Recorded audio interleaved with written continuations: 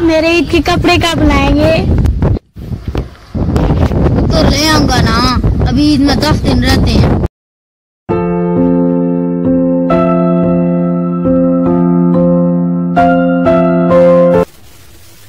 चाय की पत्ती खत्म हो गया और आटा भी खत्म है। जाओ कोई काम देखो। चार पैसे मिल जाए तो भूखे ना मरे। तुम जानती तो हो आजकल कोरोना वायरस की वजह से काम बंद हो गए हैं।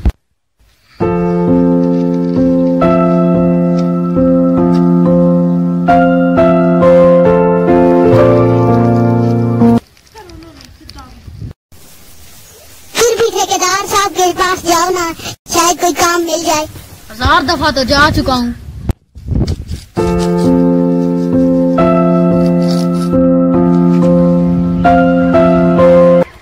अब्बा मेरे ईद के कपड़े कब लाएँगे?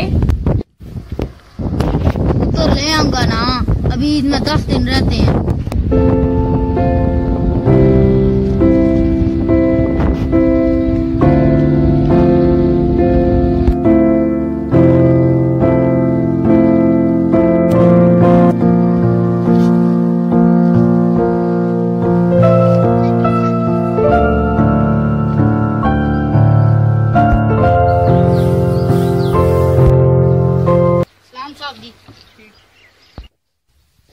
वसलाम आओ खैरियत है। साहब जी घर में राशन बिल्कुल खत्म हो गया है मेहरबानी करें कोई काम दें।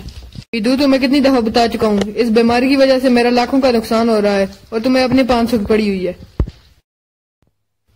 वो तो ठीक है साहब लेकिन दुआ करो ये बीमारी खत्म हो जाए और सबका भला हो जाए। साहब जी कुछ पैसे उधार दे दें बाद में वापस कर दूँगा।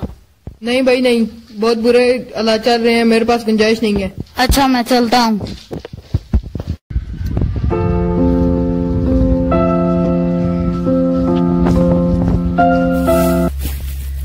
हम इस बीमारी से मरे या ना मरे भूख से ही मर जाएँगे।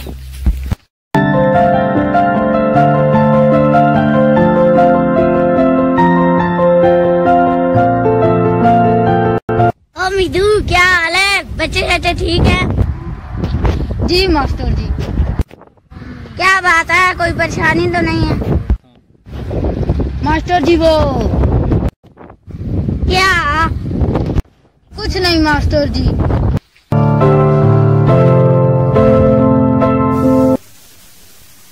क्या कहा ठेकेदार साहब ने?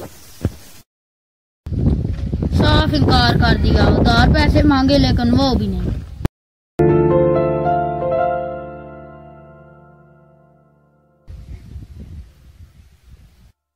होगा? क्या करूँ? अल्लाह तू ही कोई वसीला निकाल।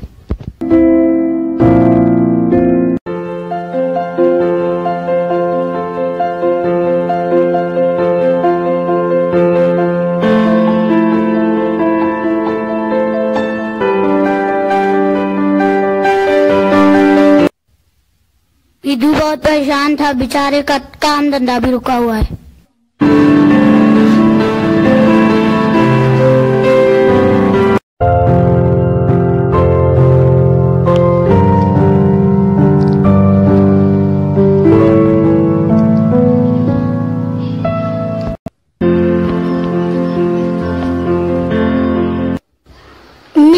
घर पे ही हो।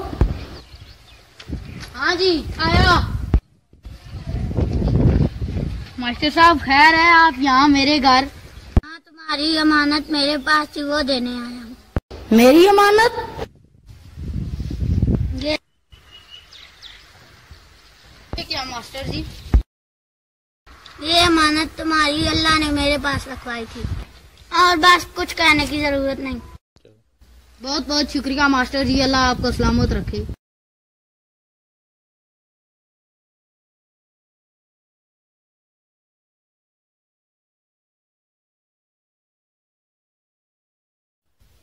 अल्लाह तेरा शुक्र है।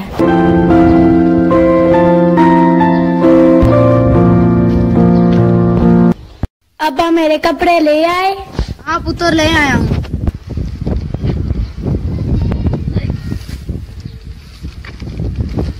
मेरे कपड़े किधर है, मेरे कपड़े किधर है। देता हूँ ना।